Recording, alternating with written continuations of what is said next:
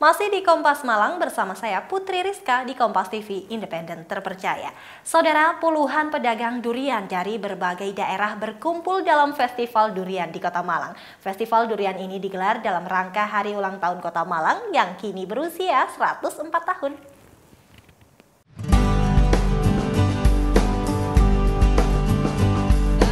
Festival Mendem Durian ini digelar di sepanjang Jalan Gajah Mada atau di samping Balai Kota Malang. Festival durian diikuti sekitar 60 pedagang durian dengan lebih dari 10.000 buah durian. Tak heran jika pecinta raja buah ini datang ke festival ini untuk menikmati berbagai jenis durian. Puluhan pedagang pada festival ini menjual durian dari berbagai daerah dan berbagai jenis.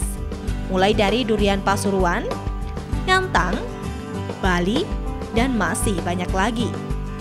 Dalam festival ini panitia hanya menyediakan durian lokal.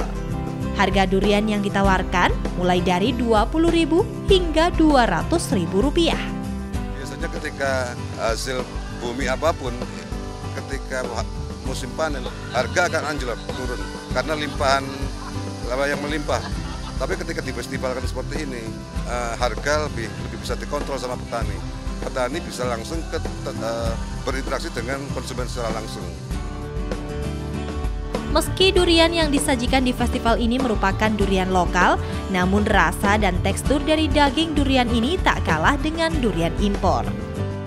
Sangat pria sekali. Ya, saya penggemar durian. Durian tuh enak banget. Kebanyakan yang ada di sini durian-durian adalah dua kualitas pilihan ya. Jadi di sini durian-duriannya harganya tidak terlalu mahal tapi rasanya enak banget. Festival durian ini berlangsung hingga 15 April mendatang. Nah saudara setelah saya jalan-jalan di sepanjang rute Festival Durian di Kota Malang Akhirnya saya ingin mencicipi salah satu durian di pedagang durian pastinya ya. Oke mas saya akan cicipi ini ya. Cicipi yang kecil aja deh. Dari bentuknya sih memang uh, terlihat lebih kecil ya. Saya coba dulu merica ini mbak namanya. Oke, nah saudara ternyata dari bentuknya yang kecil ini, durian ini namanya? Durian merica. Durian merica. Pasuruan.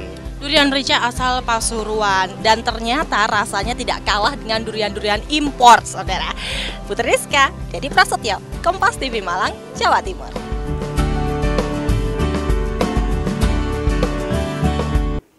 Masih dari kota Malang, saudara berwisata kuliner memang selalu menjadi kegiatan yang menyenangkan. Apalagi untuk makanan yang dicari adalah jajanan tradisional yang saat ini sudah jarang ditemukan. Nah, di Malang ada sebuah restoran yang menyajikan menu makanan tradisional yang dikemas dalam pasar malam dengan suasana tempo dulu.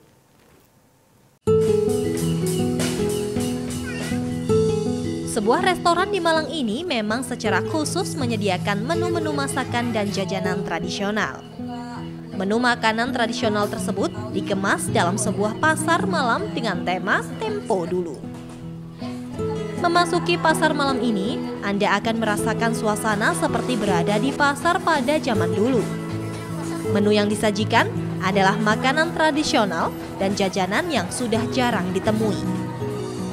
Makanan yang disajikan seperti kue rangin atau kue pancong, lupis, cenil, hingga menu angkringan khas Jogja. Di pasar malam ini juga ada minuman limun yang kini sudah jarang ditemui. Selain makanan, juga ada beberapa permainan tradisional.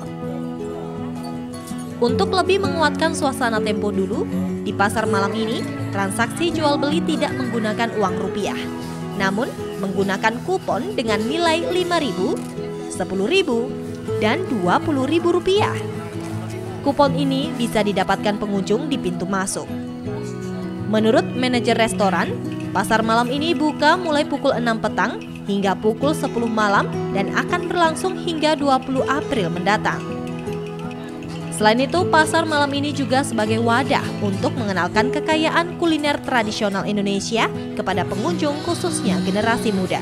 Kaya dengan budaya ya berbagai macam makanan maupun uh, kuliner makanan kita tampilkan di sini. Saya harapkan juga uh, generasi ya khususnya bisa tahu bahwa bisa berbagai macam ragam makanan, mainan maupun suasana yang kita bisa tentukan. Sedangkan menurut pengunjung, di pasar malam ini dirinya serasa bernostalgia dengan makanan dan permainan tradisional yang dulu sering dijumpai. Saatnya ya pengen ini sih pengen mengenang masa lalu gitu aja sih kayak zaman kecil dulu kayak gimana kayak gitu kan diajak mungkin mainan bengkel apa kayak gitu.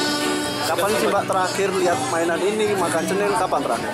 Terakhir kapan ya? Udah lama banget kalau main bengkel kalau main, main apa kalau beli cenil sih masih sering gitu ya. Kalau ini udah lama banget main ini mas. Selain menikmati sajian kuliner dan permainan tradisional, di pasar malam ini juga ada layar tancap yang memutar film-film zaman dulu. Tim Liputan, Kompas TV Malang, Jawa Timur. Sampai di sini Kompas Malang hari ini. Saya Putri Rizka mewakili seluruh tim yang bertugas pamit undur diri dan berterima kasih atas perhatian Anda. Saksikan selalu rangkaian berita di Kompas TV, independen, terpercaya. Sampai jumpa.